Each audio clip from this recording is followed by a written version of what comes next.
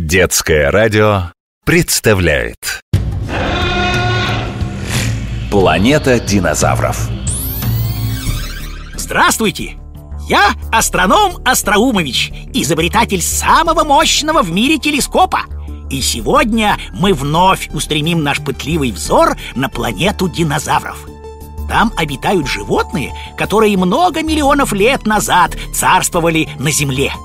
Интересно, какие тайны планеты динозавров откроет нам на этот раз? Готовы? Тогда вперед!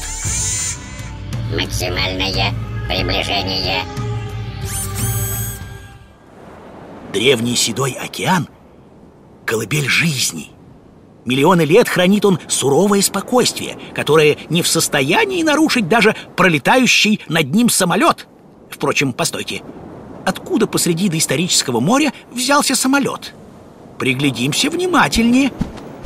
Как же я сразу не догадался! Это вовсе не самолет, а огромный птерозавр, крылатый ящер. Современные ученые дали ему имя Кетцалькоатль. Так звали индейского бога, которого изображали в виде гигантской летающей змеи. И действительно – Продолговатая зубастая пасть и длинная шея делают птерозавра похожим на сказочного дракона. Размах крыльев Кецалькуатля может достигать 15 метров. Неудивительно, что сначала я принял его за небольшой самолет. Перьев у птерозавра нет. Их заменяет плотная кожистая перепонка. Когда передние лапы Кецалькуатля разведены в стороны, вот как сейчас, во время полета, перепонка натягивается и образует надежное крыло, похожее на парус. На этих крыльях-парусах летающий гигант может преодолевать большие расстояния в поисках еды.